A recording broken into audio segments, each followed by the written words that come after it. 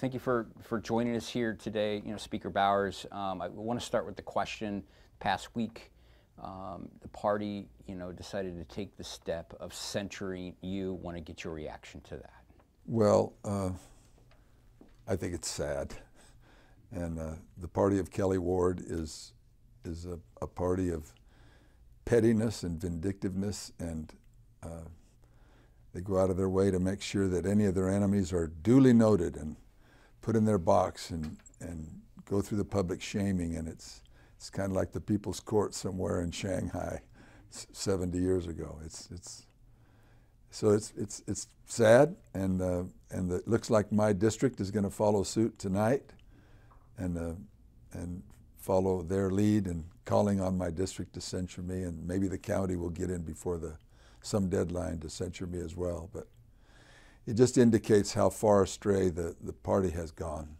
And, uh, so the fo follow up to that is is like in explaining why you know they were taking this public rebuke of you. They listed off a number of bills. They said that you were on the wrong side of. We don't have time to go into all those bills. There was no mention of your testimony in front of the January 6th committee hearing. Do you think you'd been Do you think you would be censured? Um, this would have happened if you didn't testify there. Uh, I, well, I think that the the, the commission, the, committee, I think that testimony definitely has colored everything that's happened since, as far as the Arizona Republican Party leadership, not the membership per se. I mean, I've had a, a lot of wonderful reactions from people about going and just telling what happened, you know, trying to be straight up about it. And that's what I hope to do.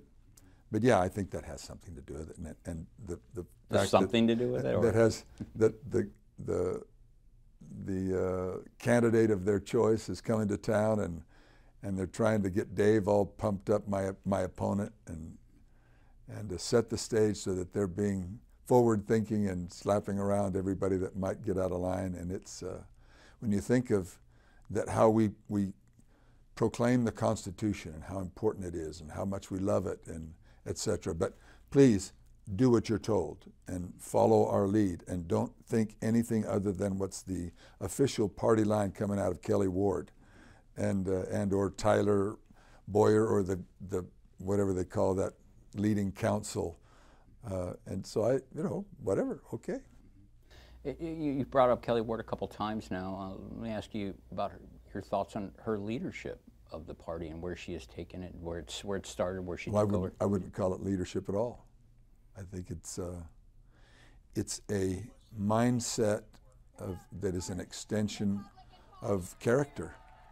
If your character has no breaking system, no discipline system, then everybody's an enemy, and you have to growl and snap and fight back if anybody gets out of line. And, and the ability to work with people and to get things done uh, is, is obviously evident in what's happening to the party and its influence. It's, um, it's sad. I think it does have a corrosive effect on the ability of people to, to be uh, cohesive around any particular message or principle that used to be part of the party's vision. Back in John Rhodes and, and Barry Goldwater and Kyl, and uh, there's a whole litany of people who were true leaders in their party in, in, in Arizona. And to see all this, uh, it, it's, uh, it's, it's, it's weird. It's, it's very strange. Is this a party that you recognize anymore? Uh, I recognize remnants in people, uh, people who have long time in the saddle, people who have principles, have a discipline, and uh, but as far as you know, a, a fixture, something that you would respect, I, I don't have any respect for for the leadership of this particular party and, and how they have treated everybody in it. It's uh, it's it's hard, and so and I know me sitting here with you being on the news is probably going to have some effect in my campaign. But somebody's got to be the grown up around here and say so. This, uh, this is not acceptable. And, uh, and there are growing people, growing numbers of people who are just said, I'm done with this party. Uh, we'll, we'll go independent for a while and see what happens next. But uh, they don't want to be associated with this kind of ferocious, uh, vindictive uh, mentality. And what what do you want to see happen? What how, how should the party? I'd like everybody to sober up and ride the horse instead of falling off one side and then off the other, and realize that in order to be effective and move good policy, you have to work together. We really do need each other in order to have civilization. The civility of that word is being able to work together. Yes, I have my rights. You have your rights. Sometimes they get fuzzy on the edges, and we need to be able to accommodate differences in conscience and how we demonstrate that. And, and we just don't accept anything. There's a, a high level of intolerance in this particular state administration, and, uh, and it's bled down into the, into the LDs across the state. I think it's corrosive and dangerous to the ability of the party to really lead on policy. Yeah, in the LDs, you're talking about the legislative Right. districts, and you, you know, it, do you think this comes down to one person? Do you think it comes down? Oh no, there's not one person up there. It's not clones. They just may act like it occasionally, but the idea that you can be justified in incivility, and that's one of the residues I think of the former president, that he justified that, that that's legitimate public discourse, and I think that was hor- horrendously corrosive in in in the psyche of America. It's In- very damaging. And, and you mentioned earlier that your own legislative district may follow suit and censure you. They What- sent out the censure already on the on on the email on my account. It's just word for word what they did at the at the state level. I don't think they bothered to even look at the bills. It's funny. Two of the bills, the 2289, I think, and the 2296 was the first one. We, that's the one I, I I insisted it go to several committees. I think you assigned them to every single committee. Yeah. in. Well, we didn't assign it to the That was an fire order. And that was an- management committee because that was kind of a, an ad hoc. But the, the point was, I'm not going to take away early voting. I'm not going to take away day or to make everybody vote day of. My district, 70% of them are over 60, standing out there in the sun on August 2nd. That's brilliant. And, and I, I think it might even be a little dangerous. I'm not going to take away the machines, which are extremely, uh, have been proven. For those who had just bothered to take the time that are proven to be accurate. And, and I'm not going to make us all get 80,000 people to vote. And I'm sorry, to count the vote in a 24 hour period. And then, if we don't like it, the legislature can come back and, and negate the vote, a fundamental right that we once extended to the people, and in the same vote take it away. That's what that bill is. If anybody look at that and say, seriously, folks, 90% of my district votes early. We don't want you to vote early anymore. Oh, no, they're not practicing that. But that's what they use as one of their uh, legitimizing uh, aspects of my character that they have to censure. Do you see, you, you see some talk in the national media about, you know, maybe s- steps like that are undemocratic? Do you see it that way? Oh, I, I just think that we have made such strides technologically, and that we have lots of, we had lots of volunteer uh, forces wanting to help in the voting and count it and be a part of what is the backbone of our voting capacity is the volunteers and, and folks that work for our counting centers. Those people are intimidated and threatened, and many of them very professional are showing up. I heard Steve this morning, Steve Richer. They're showing up, but a lot of them just said, you know, I'm not, I'm not going to go through this anymore. And so we're going to have to fill those gaps. So does it have an effect on democracy when you, when you insist on these things? I think it, it does. It, in, it inhibits the ability to vote. Mm-hmm.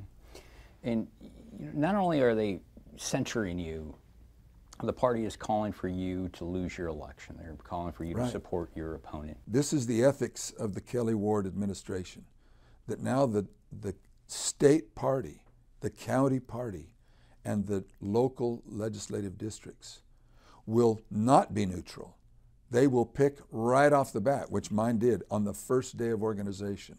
The leadership said that we're here to, to elect these three. And I'm sitting right there. It, it was, uh, it was, it was surreal that that's no longer part of the charge of the party is to get people united as Republicans and then take whomever our pick is into the general against whomever else the, the opposite side takes. What do you think some of the top candidates in the Republican Party, you know, governor's race, secretary of state's race, attorney general's race, they all push election fraud without any evidence to support that claim. Well, do you support? Can you support any of those candidates in this primary or moving forward? The good thing about about our our faults is that some people have faults, but they have a lot of good qualities that still make them very, very supportable.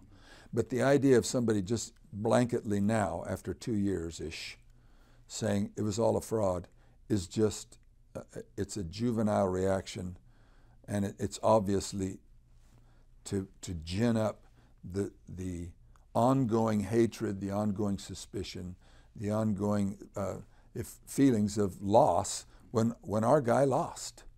And, and, uh, I, this is the result.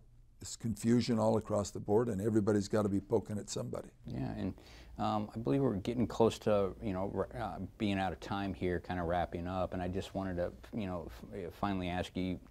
There's a lot of attention given to a statement you made to the I sure. believe it was the Associated Press saying that you would still support Donald Trump if he was the nominee. And and I have I've said since time many times.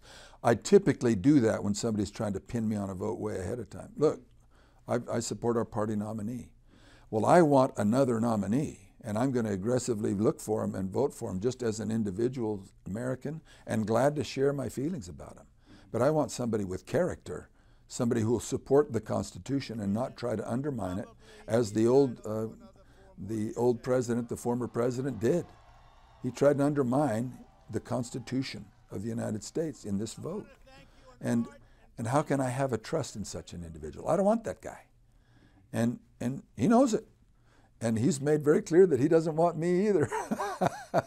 when he called for Dave Farnsworth, you know, I said, okay, hey, fantastic. Because he did endorse your candidate. Oh, absolutely, big time. And most of the endorsement was what a bad guy I was. So it's not personal that way. I have to step back and say, I have an obligation to, to pick the person that's best suited to carry the Constitution forward and the country forward. A lot of things he did good, but and and combine it, looking at what we're facing now with this current administration, we're going to need some real leadership that can pull this country together. And I don't want it to be a thug. I want it to be somebody with character who can really lead. And um, one more question. This will be the last, I, I promise. You also were quoted recently saying that it would take a miracle, um, it'd be, or it would be a miracle if you won your election. I believe in miracles. I stick with it. I don't just sit out. A guy told me we were stuck in Mexico years ago, deep mud. And I, I remembered an experience where I had prayed and a guy came along and pulled me out. So I prayed again. Well, the guy was with me, climbed out in the mud and got a big fence post and helped pry me out. And I said, Man, I told you, I, I was praying away. And he says, Look, sometimes prayer is great, but most of the time there's a lot of work associated with it. so that's what we're facing. We're trying to do all we can. So you still think you can pull this out then? Hey, who knows? It's heavily Trump, heavily Trump centric, and and they've been you know pushing all the right buttons. But it's uh, it's it's fun to be in this process, win, lose or draw. We're going to do the best we can.